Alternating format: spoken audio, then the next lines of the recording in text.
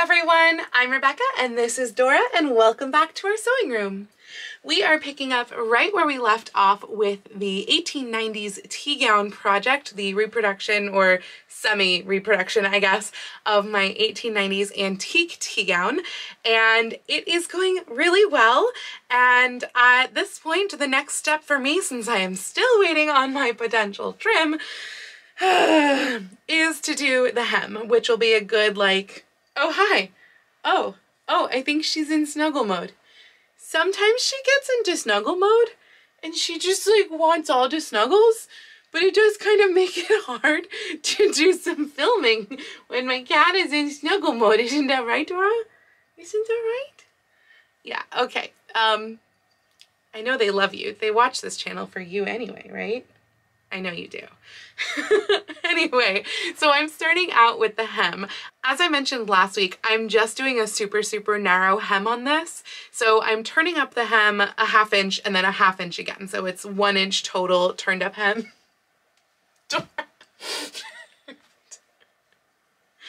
I'm, I'm glad you all get to see your piece she is such a silly girl. She doesn't do this super often, but she's been doing this all weekend and I love it. So, hem, turned up half inch, turned up half inch again, and that's going to be pressed in place and then sewn by hand. So that will hopefully kill enough time until my trim gets here and I can start doing the trim. So this week it's going to be hem, trim, and pockets, and then the final reveal. So I'm kind of hoping, Dora, get away from the pins. I'm kind of hoping that this won't take all week, but who knows? I gave myself a compassionate deadline last week. I'm starting to like be on the verge of burnout these last couple weeks and so I'm trying to be good to myself. So I might just take all week with this and that will be your vlog. But I do hope that you enjoy it anyway and I'm going to go get to work. So after all of that waffling and waiting for the trim, the third trim finally arrived and I've pinned it into place just to get a kind of a mock-up with the new trim that just arrived and the velvet trim option that I liked from the other day. And honestly, I think I'm gonna go with the velvet. I love this color so much. Like it's, it doesn't read, I feel like on camera, but it's actually, now it's not focusing, but it's actually this lighter royal blue, not the navy that it's kind of reading as. I love the color. I like the texture, but it's a round cord. Like it's really thick. So for example, if I run my hand down here, I go like bump, a bump, a bump, a bump, not even with the pins, like it's all the cord. Whereas if I go over here, it's smooth, even with the pins. And so I think I'm gonna go with the velvet. I wish that this velvet ribbon came in this color, but it does not. It comes in just the navy or the light blue. And the problem with the navy is that it looks a lot wider than it is because this blue has light blue edging on the sides, whereas the navy is dark all the way through. And so if you look at them next to each other, this navy looks way wider because this light blue is blending in with the light blue of the dress. It's pretty much same color. And I like the width minus that edging versus this, which just looks way huge. I mean, comparing that to that, like it looks enormous versus comparing this to this, they're like fairly similar. So yeah, I'm gonna go with the blue velvet. It's going to go in this kind of a pattern here. I'm not exactly positive how I'm applying it yet. I would love to be able to do this by machine, but I kind of have a feeling that that's not gonna work. I think I'm gonna need to potentially do this by hand, which is like, but it's so narrow and like keeping it in line, I feel like is gonna be a real challenge with doing it on the machine. So yeah, but for now, what I'm going to be working on, I'm probably going to put the velvet ribbon on the sleeves first, just so I can finish off the bottom of the sleeve. And I'm also going to be pressing the hem tonight the rest of the way so that I can hand sew that. And then I will get to the velvet on here, which is going to be the trickiest part. But look how cute these ladies are together when they have like the velvet all or the ribbon all pinned into place. They just look like a big sister and a little sister and I love it. It's so cute. So I'm very excited with how my project is coming along so far. And I just love them together, even though mine looks humongous compared to this little 1890s lady. but still adorable. Anyway, I'm going to get back to work. So what I've done here is with the sleeve opened up, I have drawn all of these lines on. I used my sleeve board to give me a little table because it's only opened up about six inches up here, but I drew all my lines on. This one is like just shy of one and a half, like a 16th inch shy of one and a half from the bottom, and then half inch up, then two and a half inches, then half half and the other ones are all about, I guess it'd be 7 sixteenths on the antique one. That's how far they are from each other. But I figured since mine's a little bit larger anyway, half inch would be just fine. And hopefully that works out once I put the velvet ribbon on it too. But this part is going to be turned under so that basically once we get to the bottom, it'll be like that as far as the length past the bottom velvet ribbon. And then I'm going to put the velvet ribbon on next and then seam this up. So while I was drawing the lines or after I drew the lines on, I did turn this back inside out and I pinned it together, pinned the seam together to make sure that my lines matched. This one matched fine. This one, on the other hand, you'll notice that the sleeve is not quite even on the bottom, which I did not notice first. So my lines were like super, super off, like literally coming into the middle of each of these lines. It kind of reminded me of hers, but I don't want mine to be like that. I want mine to actually meet. So I went and I erased the other ones and did the lines so that they'd actually meet. So now I can go ahead and put my velvet ribbon on there and then do up this seam and then hem the bottom of the wrist. And with my velvet ribbon, I'm going to try to seal off all the ends with my lighter because that way they won't fray inside the sleeve, but it is harder when it's like short pieces of ribbon like this, so I don't know if it will work, but that's my goal. It is the end of the night for me, but as you can see, I have started on the trimming. I've got one row most of the way on. It's all the way on except for this other side right here uh, around the yoke. And then I have the collar completely done. What I'm doing here is I'm kind of going like past where it'll go inside and then this bit I will tack down by hand just like whipping those ends down because I figured that way it would be totally covered and I I don't know that's just where my brain went. So I'm going to do the same thing here. It'll fold over instead of going inside like it should have because I've already done that seam. It'll fold over and then I'll tack that down there. And then I have also done one sleeve worth. So all of the bands are on. This is weird shaped because it is pinned into place right now. So that's ready to be hemmed. And likewise, the skirt hem is also all pinned into place all the way around. So that is all ready to be hemmed. So that's to be it for me tonight. I'm hoping that tomorrow I will get the other sleeve done and that one actually hemmed. Ideally hem the skirt, but we'll see because I also do have a lot of editing to do. And I mean, it'd be great if I could finish the trim, but I'm not keeping my fingers too crossed that I can finish all of that because Tuesdays typically are one of my like lesser times to sew day, I guess, because I actually work at work. So that means I get home way later. So yeah, I will check back in tomorrow. You guys, look at it. So all of the velvet ribbon is now on everywhere except for the pockets because I haven't done the pockets yet. This color is still flipping up a little bit, which makes me nervous. This is just pinned right now. But uh, the velvet ribbon, by the way, it's not finished, but it is on. And I say that because all of the inside bits, I still need to sew all of those down. So all of that's going to be by hand. Likewise, well, now it's under this button, but the one that is right there under the button, in fact, it might be two rows that are under the button, I couldn't get my sewing foot in there on the machine. So that has to be done by hand also. And I think that's it. It's just all of these all the end bits inside and then that section right there. I did wind up having to do this row here on both sides also by hand, but I did that like as I was going on the machine. And that's just because the sleeve was too thick and it was driving the machine away and wouldn't let me sew over it because, you know, it's super, super thick with pleats. And I did have some problems just in general, like kind of steering on here I know they're not even, and I knew they weren't going to be even from the get-go because it is narrower up here than it is there. I haven't decided yet if it bothers me that it like goes kind of even and then tapers really quickly.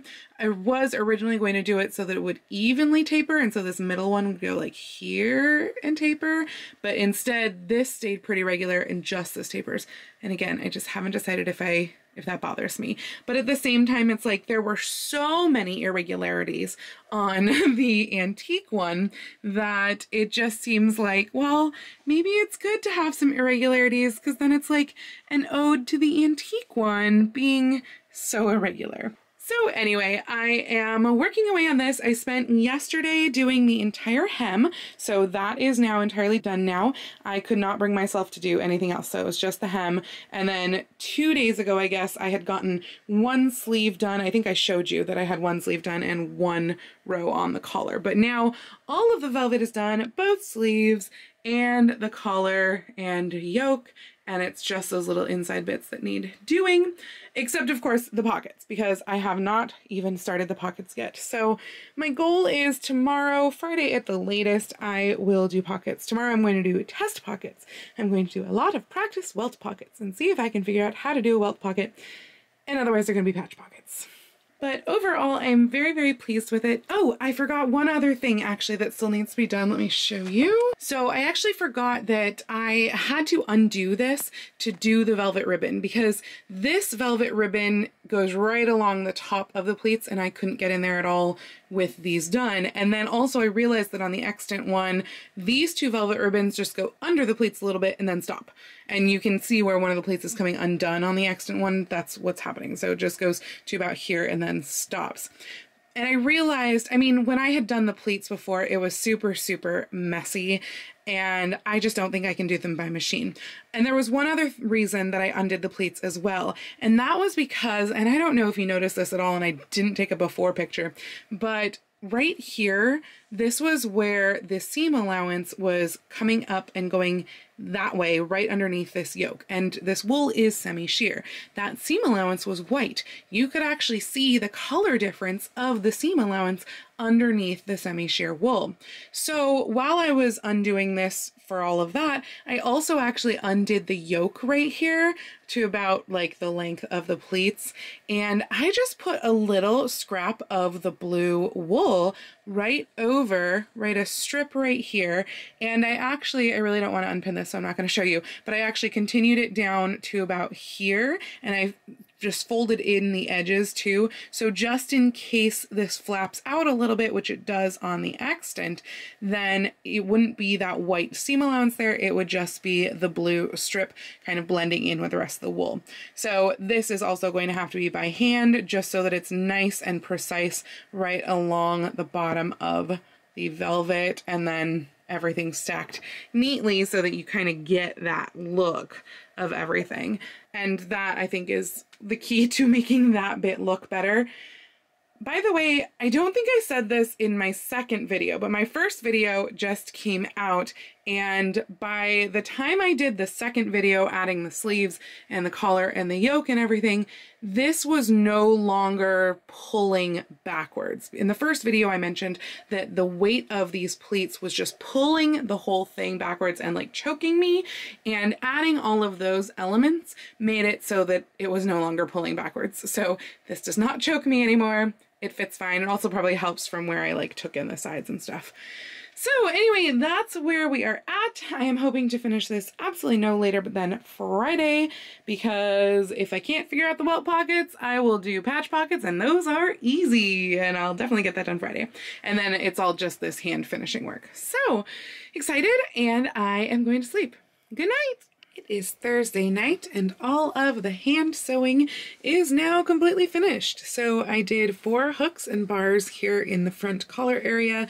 All of the ribbon ends are all stitched down and I stitched down the pleats by hand, which, oh my gosh, that was difficult just because trying to like catch all of the pleats on my needle and line them all up with the velvet, it, that was just thick and very difficult, but it's all done now. So yay.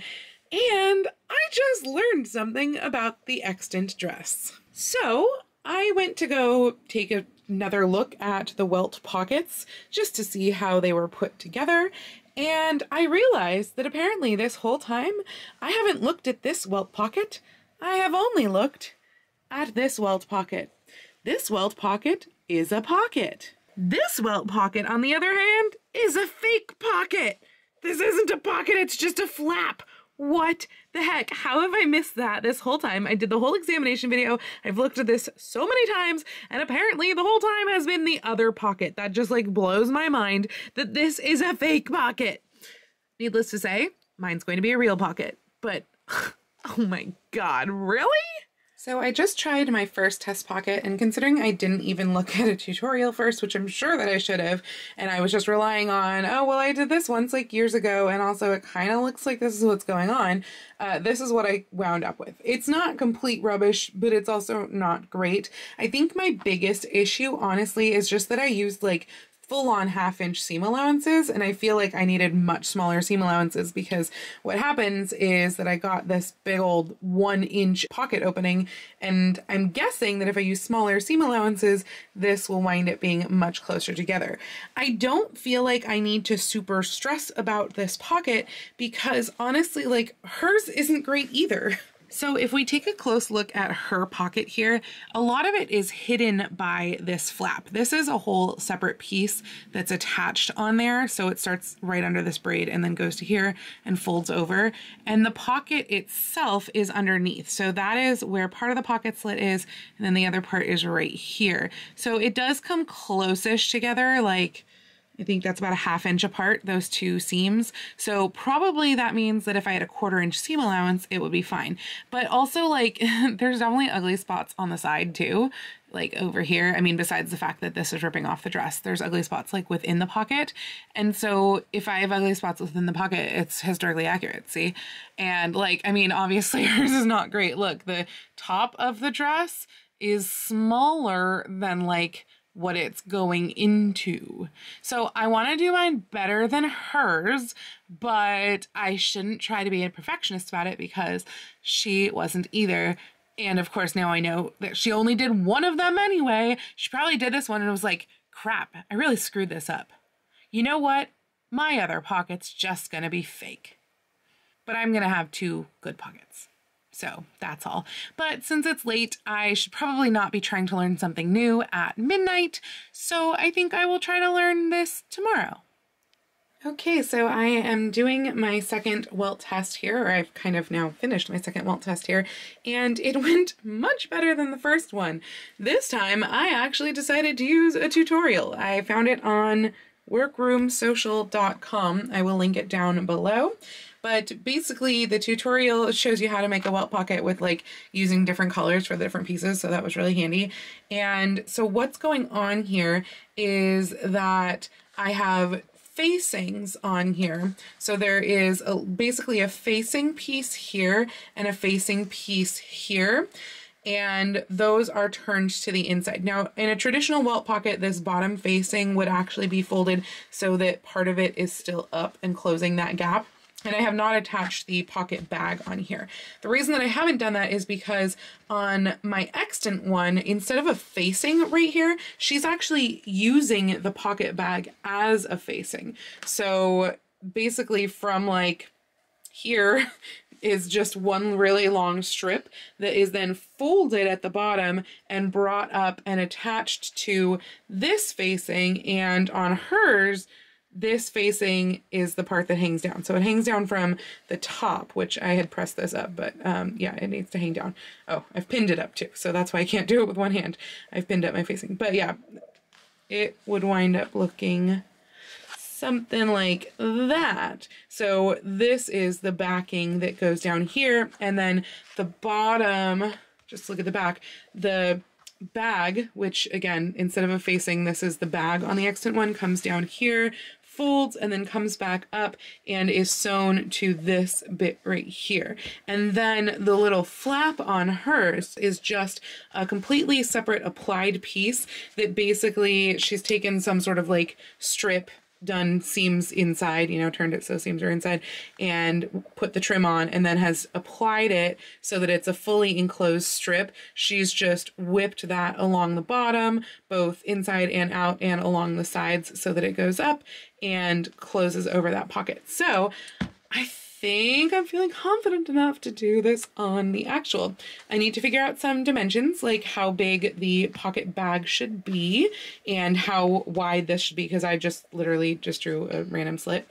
But the key, I think, that made this one a lot different than the other one besides me just trying to apply the pocket bag directly to both sides, which is not how hers was made up. But I think the, the real key is that this has quarter inch seam allowances. So my seam allowances are able to get way smaller. And then also I didn't do a good job of clipping my corners at all on this one. You can see just how short that is. One of the tips that they mentioned in the tutorial I looked at is to start clipping your corners like an inch away from the corner. So that's what I did here. I don't know if that shows up on camera at all, but it's it starts way far out and then gets to the corner. So I think that that really, really helped. And honestly, this is probably about the size that I want. Like, I mean, it's wide enough for my phone. That's the tutorial. And let's see. Yeah, actually it's a great size for my hand also. So I think I might just go with this random test width that I just made up without even measuring it and do that. So the main thing then is figuring out exactly where the pocket top needs to go. I am pretty confident that I wanted that right there. So I don't think I'm going to put it on again. I know I should because I'm cutting into fabric, but that would involve a corset and a petticoat and all that sort of stuff. And I don't want to do that. So I am going to mark my slit here, do the same thing on the other side where I don't have a pin. So it's going to be a little harder to mark, but I have to make sure that they're even, obviously, and then go from there. And I'm feeling a lot better now about welt pockets. So what I've done here as the first step is to make up the pocket flaps. I've got the one here and then the one over here. And these are just made out of strips of fabric that were, I think, seven and a half inches wide, as in this way, and seven inches long this way. And then they were stitched on the sides and here, leaving a gap of about an inch or so right here. Or I guess actually right here because this is the that's the fold. This is the opening side so the gap is right here. And then that was all turned right side out and then I applied the velvet ribbons to here and then the third velvet ribbon will go over the edge of this. So the third one has to be put on as I'm actually putting on the pocket flap. But this was what I have first and I will be putting these to the inside, stitching them down before I go and stitch the pocket flap on. But what I'm doing is I'm using them as placements for where the pockets should go. So this one I definitely like.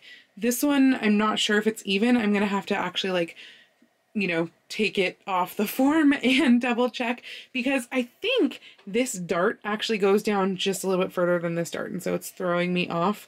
I don't really care if the darts are just a little bit uneven because I don't feel like it is that obvious, but I do care if the pockets are uneven because that's going to be super, super obvious. So I'm going to have to balance the pockets off of like the waist maybe and just make sure that they're in the same spot and the same like width out to the side. It's a couple of inches from the side seam because the pockets ends right there. So yeah, I think that's like about two inches from the side seam and then about one inch from the dart. And once I have that all placed nicely, then I will be able to draw the line for the welt across the center of that, or across, I guess, the bottom edge-ish of that maybe, and do the rest of the pocket.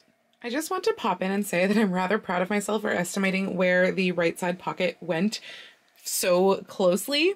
So, okay, I just went and pinned everything together. I had already basted it while it was on the form just so that I knew that everything would lay nicely. And I kind of figured I would know approximately where it went. And so I basted it around there. And then I pinned the sides together. So I actually, I've pinned the very center fronts and then I've pinned in this seam allowance so that it connects with the seam allowance of the hip of the other side all the way down from the armpit.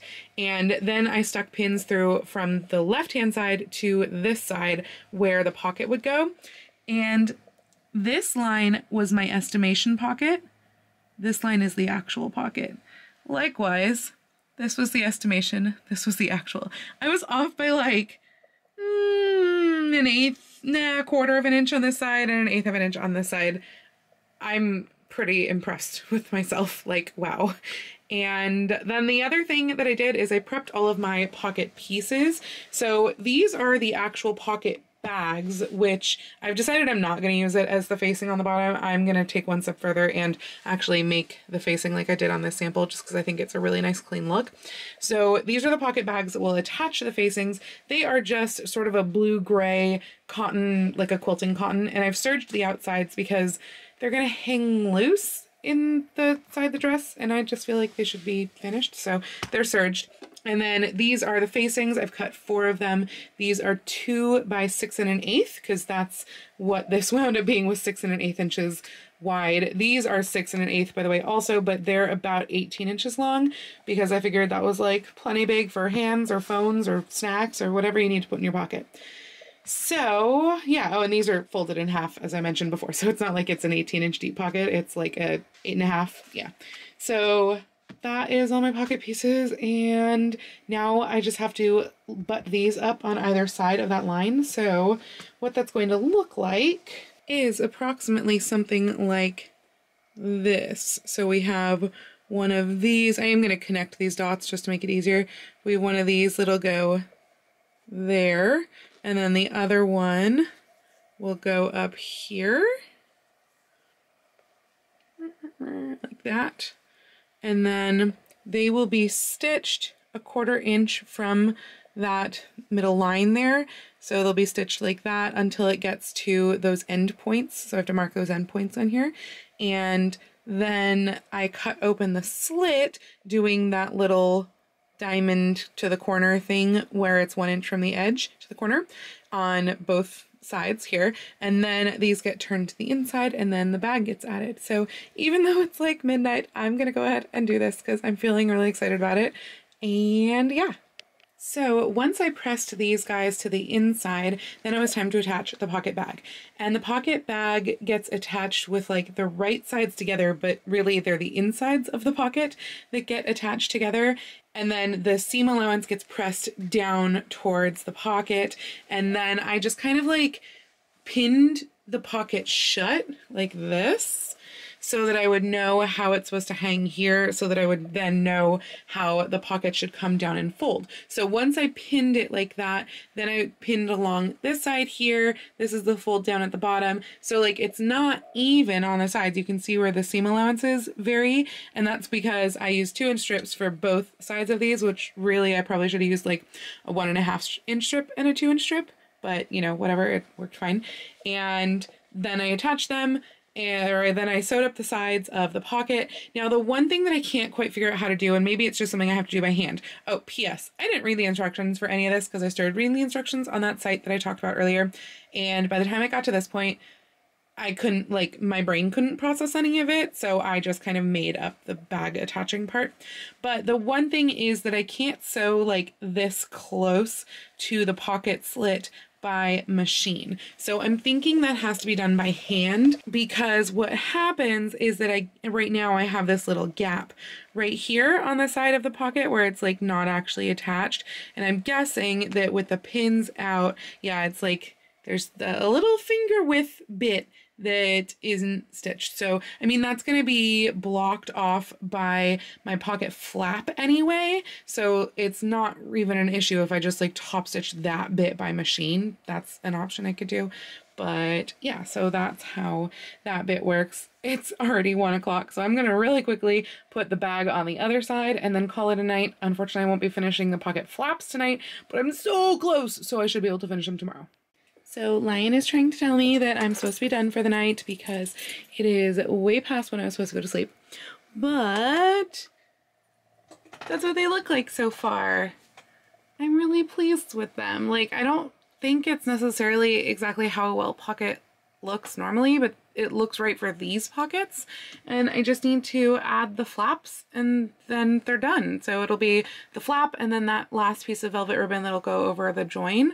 And that's it for both of them. There's the, oops, just want to turn, there's the other one right there. And so it's so close. I'm almost done with the entire dress. And that's really exciting. And probably the next time I show it to you, it'll be like on me and done. And I'll do a little reveal photo shoot thing.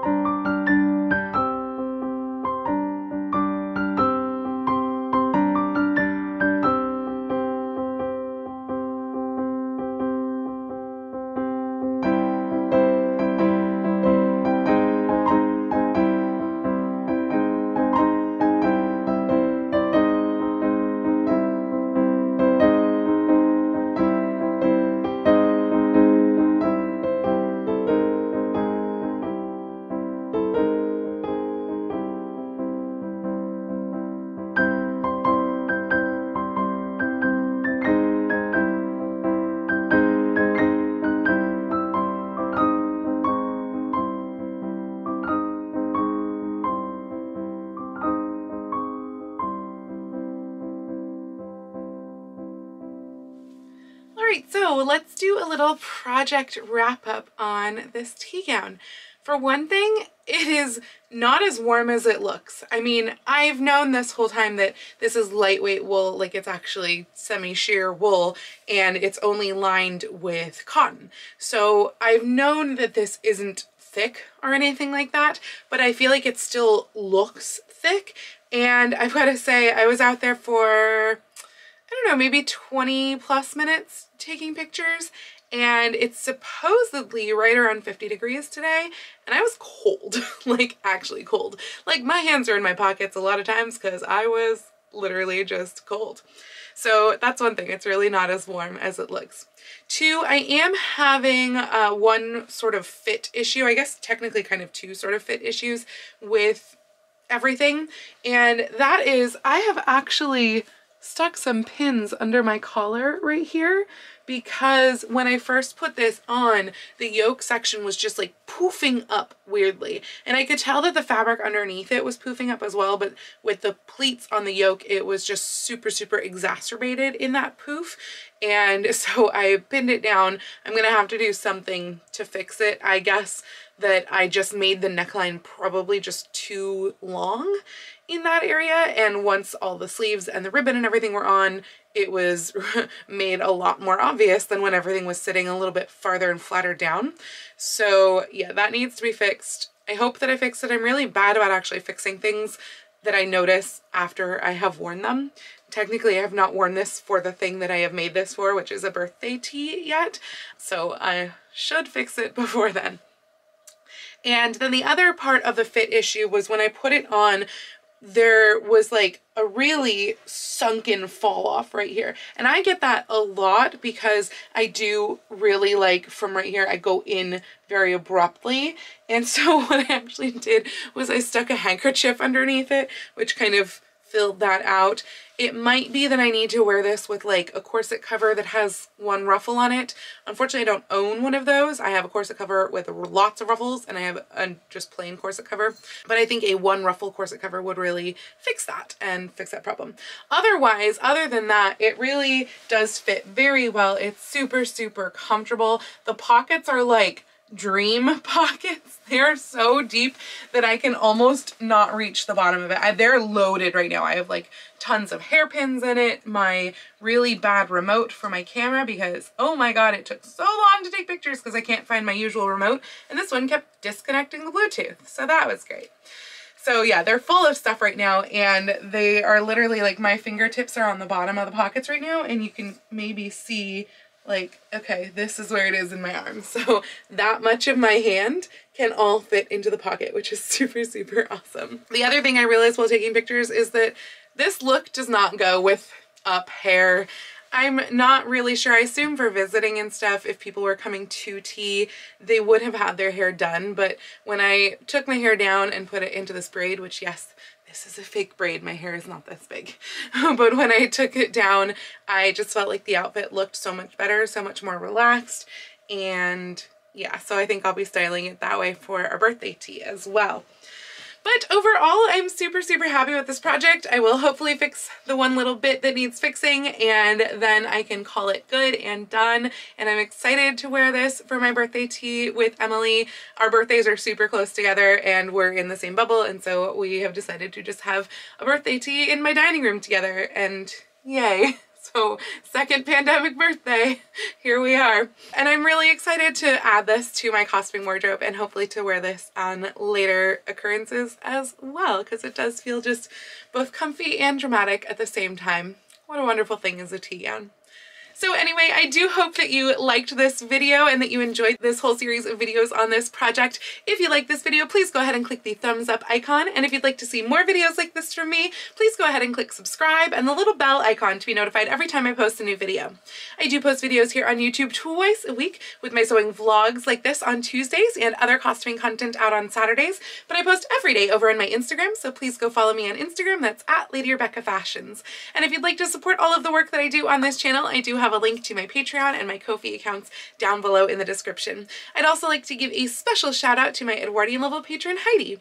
Thank you all so, so much once again. Have a wonderful week and I will see you very soon in my next video. Happy sewing!